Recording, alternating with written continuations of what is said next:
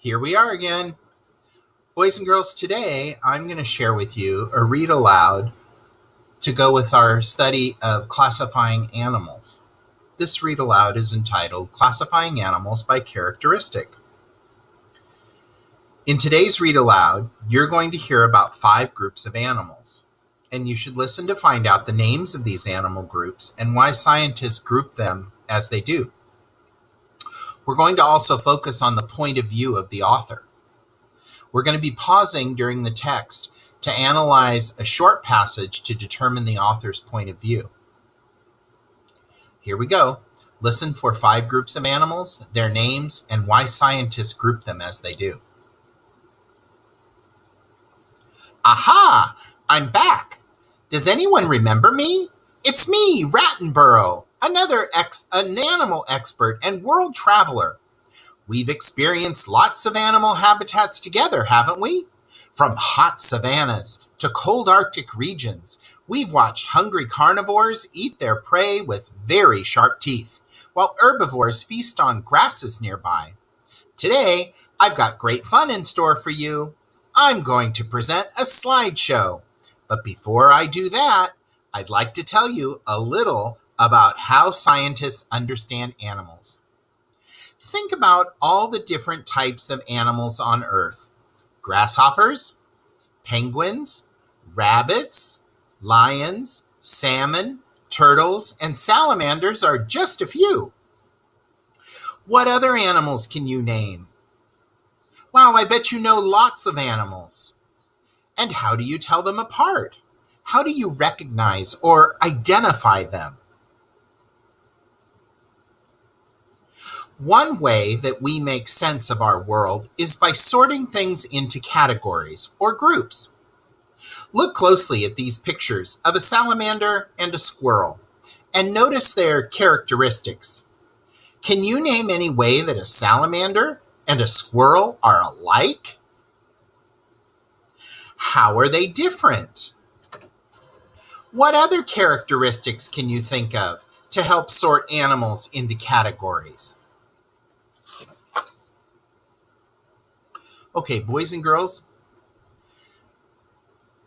uh, as you listen to the following paragraph, I want you to complete the backside of activity page 2.2. I want you to think about why the author wrote this paragraph and did the author want to answer, explain, or describe the topic?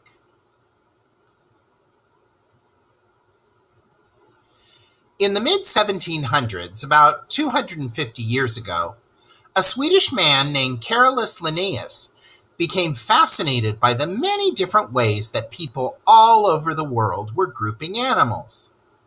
Some people grouped animals by how they looked, others grouped them by their habits, and still others by where the animals lived.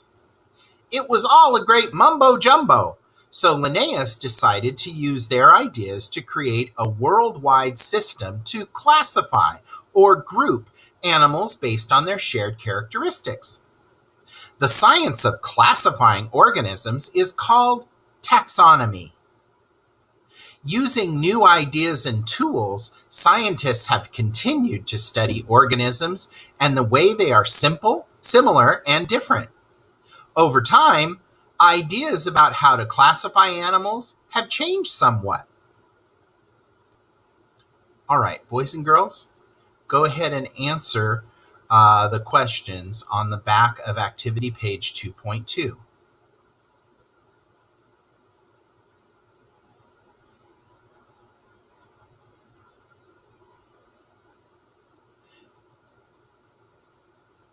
Okay, let's move on.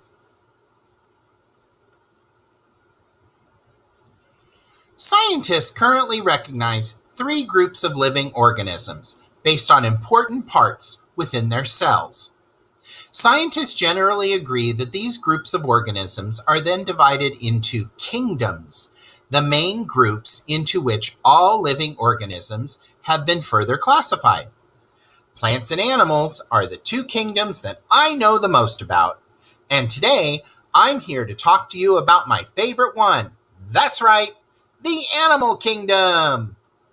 Taxonomists identify animals by their characteristics or special features that set them apart from others. They divide the five animal kingdoms into smaller and smaller groups, which e- with each smaller group having more and more in common with one another. Each group has a specific name. For example, you and I not only belong to the same kingdom, the animal kingdom, but we both belong to the same phylum, the phylum known as Chordata, because we share similar body characteristics.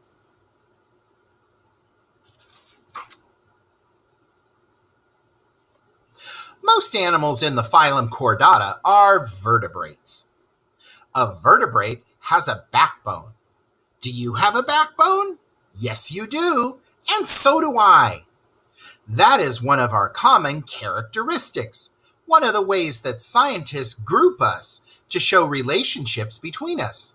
My backbone is smaller than yours because I'm much smaller. But if you look closely at this image, you can see how similar the bones are.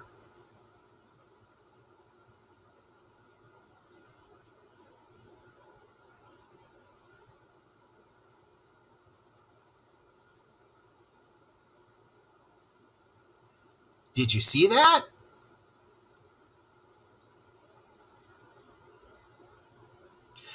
Vertebrates belong to the animal kingdom and in the phylum Chordata. This phylum is divided into even more groups called classes. A class is divided into smaller groups called orders. An order is divided into smaller groups called families. Families are divided into smaller groups, each one a genus. And a genus is divided into even smaller groups called species. There are many, many species within each group. Now that you know that a vertebrate is an animal with a backbone, what do you think an invertebrate is? Yeah, that's correct. An invertebrate is an animal with no backbone. A little more than 95% of all animals on Earth are invertebrates. Think about it. More than 95% of all the species of animals on Earth are invertebrates. That's a lot. And most of them are fairly small. Fewer than 5% of all animal species are vertebrates. That means that you and I and all vertebrates belong to a very small percentage of all the animals on Earth. Mammals, that includes all humans, are literally just a speck. Now that you've heard a little about how taxonomists sort animals into categories, I'm ready to begin the slideshow of my worldwide travels, and I'm going to teach you all kinds of amazing things about animals. I met the most wonderful new animal friends while I traveled the globe, and so throughout this domain, I will show you my slides so that you can meet them too. They represent five vertebrate groups of animals. As they are introduced, remember to think about how a scientist might classify each one of my new friends. How is each one like you? And how is each one different from you?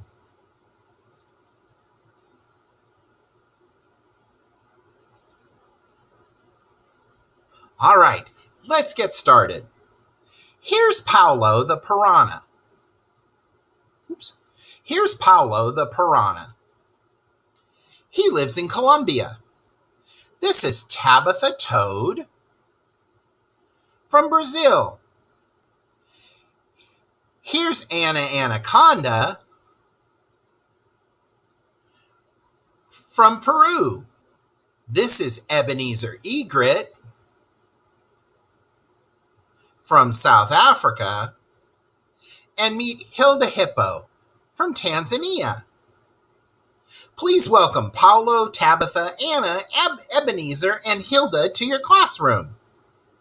They're going to appear from time to time in my slides as you learn about the five vertebrate groups of animals. Be sure to keep a sharp eye out for them. You never know when one of them might turn up. Aren't they a handsome bunch? They all belong to the animal kingdom like you and me. And they are like us in another way. They all have backbones too. Now, things get tricky. We're all animals and we're all vertebrates, but we're not all the same, are we? Heavens no. We have lots of differences as well.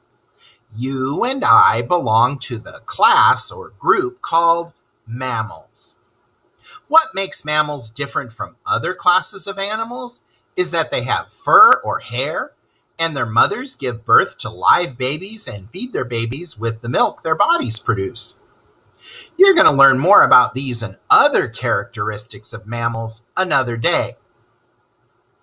My friend Hilda Hippo is indeed a mammal, even though it's hard to see the little bit of hair around her mouth and on the tips of her ears and tail. When I was in Tanzania, Hilda and I had a visit with a proud new mother hippopotamus. Look at her with her baby.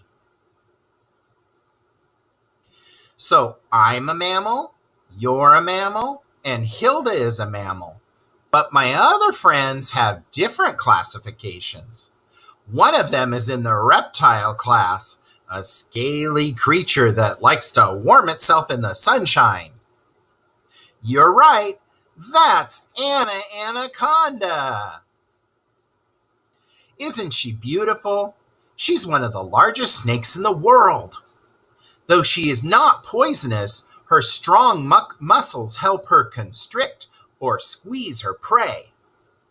Another one of my friends is an amphibian which means that she lays eggs and gives uh, and lives both in and out of the water. Most animals in the amphibian class have smooth, wet skin, but my friend's skin is rather dry and leathery. Who is she? You guessed it. It's Tabitha Toad. She like she looks like she looks a lot like her close relative the frog, doesn't she?